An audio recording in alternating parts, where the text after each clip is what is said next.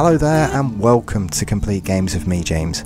Hope you guys are all doing well, and I'm back as we continue with our journey to complete Ark Survival Evolved. Previously, I asked you guys in the comments if you've got any good ideas on how to farm some rare flowers, and a few of you suggested that I should tame up a Morellatops and go harvest some from around one of the obelisks. I can't remember if you said the red or the green, so there was a few of you down there saying look out for some flowers around the obelisks. So I'm going to go and try that, and uh, we'll have a look for a high level Morellatops. While I'm out and about, I'm also going to keep my eyes out for a Thylacoleo or another dire wolf which would be quite handy. We tamed this one up before. It's got some reasonable stats and I plan to use a pack of wolves in order to gather cementing paste. If any of you guys watched my tutorial on how to gather cementing paste and some great ideas at that I mentioned at the end of it that I am on Scorched Earth and because we can't get the snails on Scorched Earth I'm going to have to think of another way in order to gather lots of cementing paste so the plan was to tame an Equus and the saddle of the Equus actually has a mortar and pestle in it and it takes a reduction, an 80%, 80% reduction on stone, chitin and cementing paste. So I was thinking that in combination with a pack of wolves is going to get us a lot of polymer and a lot of cementing paste out in the desert course we'll probably have to worry out for the uh, death worms but that's still the plan. So I'm gonna get another wolf and we'll uh, try and get another high level wolf and breed up a pack of wolves and go out farming cementing paste that way because in order to do some of the higher end gear like the industrial forge and the chemistry bench I'm gonna need it. So we uh, we're going to have to do that and uh, if I can see a dire wolf out and about on our journeys today we're going to pick one up and just keeping our eyes out for a decent level Morellatops. One just here. Hey, a 140 straight away. Fantastic. Just get rid of the sabre that's trying to eat it. So this will do nice. We'll give this a go. Yeah, 140. So now, if I can find another one, now if I can aggro this one over here, and then they'll both come at me, and I find often the easiest way to tame these guys is to get two of them on you, so I know in the first episode I tamed up a low level one, knocked it out with a boomerang I believe, but it didn't last very long. I didn't even move it from the rock where I tamed it for it, so Where's the... Ah, oh, scarpered into the distance. They were both supposed to be aggroing on me. So that was a 75. Okay, well, let's go and catch up with this 140. That's almost dead. It's taken quite a knock. There it goes. Okay. Well, Unfortunately, it's just got into a fight with an Argy and a Scorpion, and it took quite a knock. So, right, let's get rid of this Thorny Dragon, just in case it aggroes on it. As you can see, I'm also suffering from heat stroke, something that's all too common when you don't pump any fortitude on Scorched Earth, like I stupidly did and consequently we're drinking quicker than an Irishman on St Patrick's Day. Wherever you go around the world you'll find an Irish pub. Hopefully this Morellatops solves all of our problems.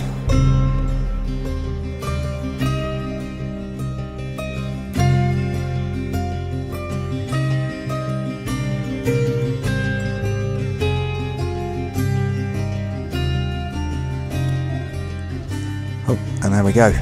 That's our Morellatops. And it fully healed itself on taming. Okay. Well, let's not waste any time. Let's get this packed up. And we'll head over to one of the obelisks. I think we're quite close to the red obelisk, so we'll we'll give that a try. See if we can finally find some rare flowers. I'm of course going to need rare flowers as well for when we do the giant bee tame because I'm going to need honey in order to make the kibble. So we've got to find flowers somewhere somehow. And this heat stroke I can barely see anything. I'm blind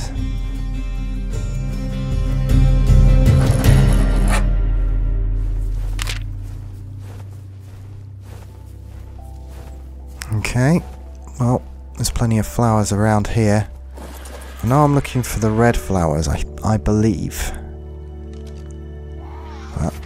Let's give it a try. There are some ruins around here as well. I could go over on the Morellatops and uh, get a level buff. Uh, I'll just keep Devil on follow, just in case anything comes for us. Okay, well, let's see what we get. 15 minutes later. Nah, nothing.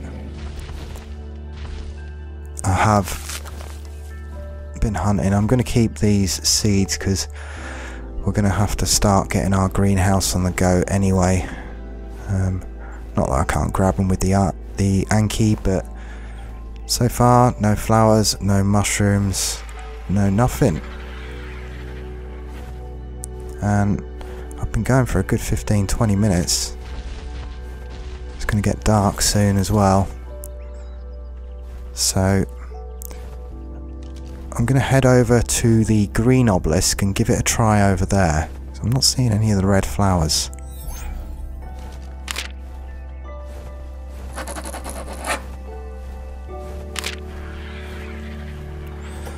Okay, right, well there's plenty of these purple flowers here.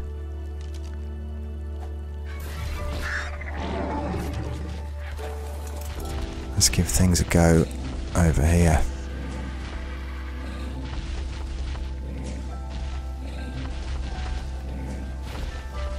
Plant species Y. Yeah, I'm not seeing anything pop up on the left hand side there. I'm going to keep on pumping melee damage because we get more back per hit then. Greater chance of coming across a rare flower or a mushroom. Aha, there we go. A rare flower. Okay, well that's one. I guess I'm going over the purple flowers. So... And another, and we got a rare mushroom as well that time. Well, we're getting somewhere. That's the important thing. Let's persevere with this get a few more levels and see what see what we can get.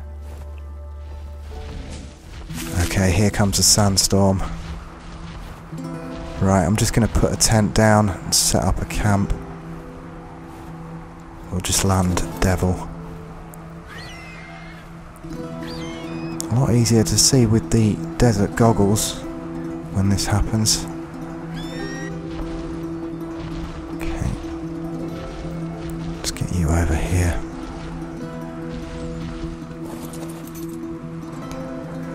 Well, just have to wait it out.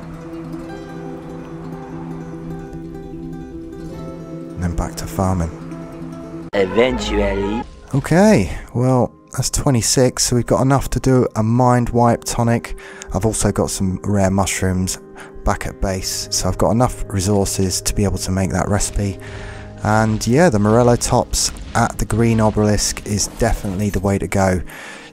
I've noticed I've started pumping a few levels into melee damage and I'm getting more rare flowers back so it's just a case of taking a really good level dino down here. Now usually I name my dinos after my patrons but in this case I'm going to call her Flower because that's basically all this dino is getting used for is for gathering rare flowers. But uh, I will need to get some more because we're going to have to tame one of the giant bees in order to get honey. So, but most importantly, I finally got enough flowers to actually reset my stats, which means I might not have to drink every two minutes. Fantastic. Okay, let's get back to base.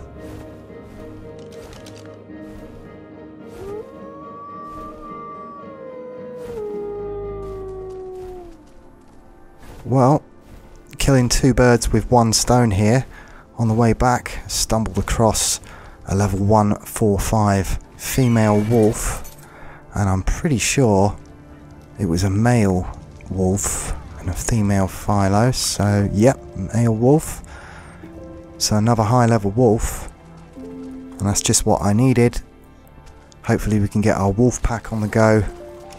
I'll get this knocked out and we can in the next episode think about taming that equus which is the horse and seeing if gathering cementing paste in the desert with that combination of oh okay I've lost my gun. Well if I'm gonna lose it anywhere this is the best place to do it. I've totally not been looking at my kit to see whether it needs repairing I'm going to have to make some more trank arrows. I'm running low on them. Um, but hey, we've got Flower now. And she can gather narco berries. Although the Yankee's been doing alright for narco berries, not too bad at all. Um, I'll just craft some more bullets up because I know I'm going to need trank darts. Now, I could use the trank arrows on this wolf now that it's in the pen, but the problem is, I find more often than not, you end up killing them before you trank them. They just take too much damage. Oh, you don't want to do what I'm doing and miss your shots. okay. Right, well, let's just knock her out. Okay, so we got our male and female wolf and we're going to experiment with a little bit of basic breeding and I'm just going to show you their stats. Now, the female is the better of the two. She was the 145. Health 264.3. Stamina was over a thousand. Melee at 350. And as you'll note on the male, which was a 135 I believe, he has identical health slightly less stamina and melee well we could do with her melee at 350 but I'm not even gonna breed for a perfect pair or anything like that. I'm just gonna try and do five or six wolves and try and get a full imprint. Now it might be difficult because they might ask for kibble or something that I don't have from the vegetable garden but if they ask for berries walks and cuddles we'll end up with hopefully a half decent pack of wolves and we can experiment perhaps next episode with the horse and experiment with the cementing paste idea. Uh, looks like we've got a storm coming in so I'm going to get some stuff together while we're breeding these things up and uh, get some materials ready to perhaps build a greenhouse. We need to get our veggies started. And finally, we can get our mind wipe tonic made Here's the ingredients we're going to need. It was the rare flowers and mushrooms that were quite hard to come across in the end. Okay, finally, and I didn't think that was going to craft up for a little while. I dropped some fibre in there thinking it might need it, but it didn't use it, so it took just over a minute, I suppose, to craft this recipe, so just needed to give it a little bit of time. Okay, well, let's consume the Rockwell recipe, resetting all of our stats. Perhaps this time we'll redistribute them properly. So firstly, Fortitude. Previously I like to get to 22 on Fortitude, although I might chuck one more point in there. I know that 22 in Fortitude was enough to get into the Overseer boss arena and not suffer the debuff when I had an Otter, as well as fair clothing. Health wise, not really as bothered on health, one stat I'm not going to be pumping anything into is crafting skill or melee damage. Movement speed, a lot of people do like to pump quite a lot of movement speed. And remember I'm pumping my stats for PvE not PvP, so I don't need any melee damage. Weight, however, I like to have a lot of weight. That's my most important stat. I'm going to try and get that up to 500. Suppose health is not so important, but when you do start draining health, it does help to have a little bit more.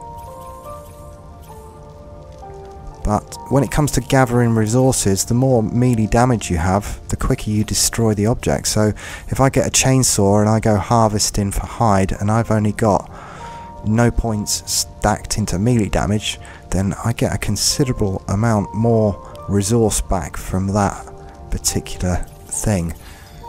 So that's why I don't bother pumping melee damage. It's only any use if I get into a fight with a raptor or a capro most of the time I have a shotgun.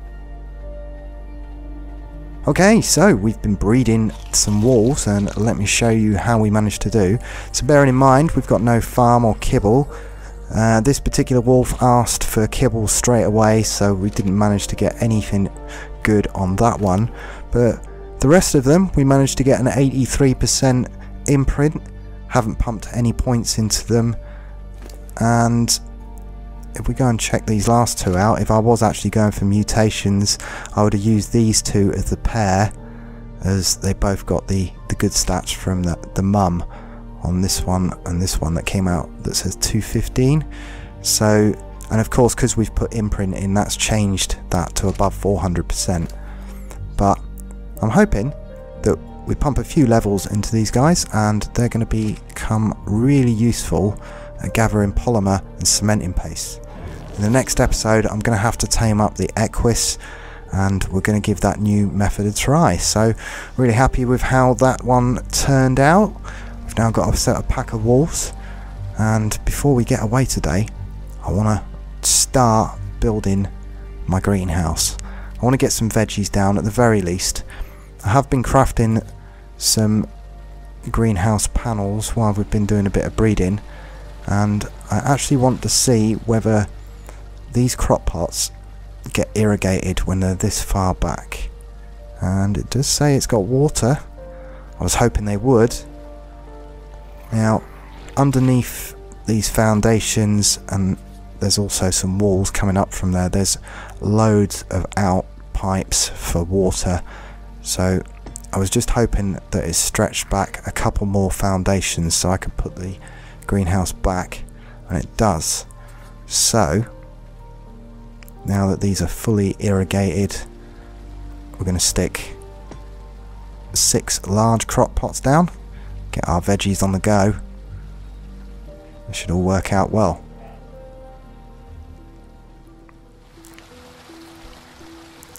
Okay, so while I've been breeding and trying to get some imprints on these wolves, I've also managed to get a little bit of the greenhouse materials we need together and I should have enough to complete something simple.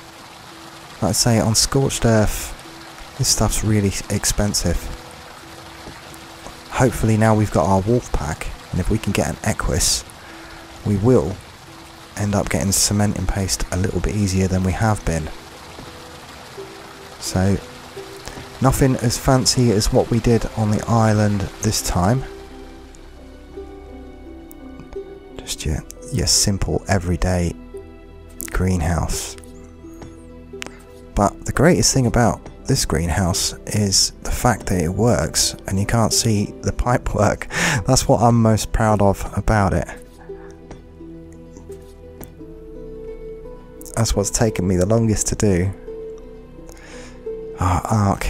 If only they made like a half pipe and you know, I think I've gone, I have, I've gone one too far. I didn't intend to go this far, so I've just used an extra four panels of glass, which means, oh dear, I'm not going to be able to complete it. I'm going to have to go and farm some more resources, unless, well, I can pick these, these ones up.